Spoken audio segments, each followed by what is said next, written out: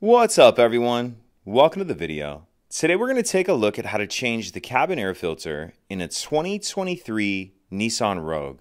I'll put a link in the description box of this video to where you can purchase these replacement cabin air filters if you're in need.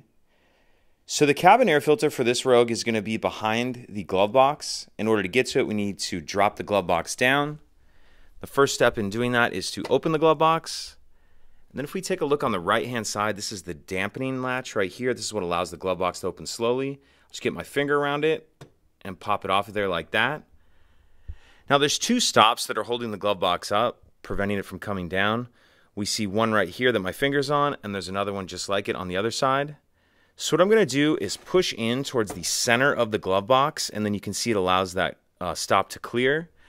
And I'll come over here and do the same thing. And this takes a good amount of pressure. If you have both your hands free, you'll, it's probably easier to use both uh, two hands at the same time.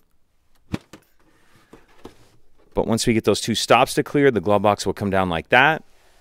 Then if we take a look up in here, this item right here is going to be the access door to the cabin filter. And there's a clip on the right hand side that'll push in and then that door will pull off of there.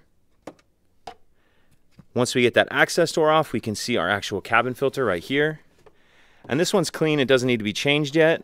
But when you put your new one in, make sure you're paying attention to the airflow arrow. You want your airflow arrow pointing down towards the floor. So to close it up, we'll reverse everything we just did. We'll slide our filter in, again with our airflow arrow pointing down. Then we'll throw our access door back on. And on the right hand side, there was that clip that we pushed in. On the left hand side, you see that tab there. It just kind of tucks in. There's a little slot. And then it'll snap on. And then we'll pick our glove box up. Push it up till those stops clear and hold it up.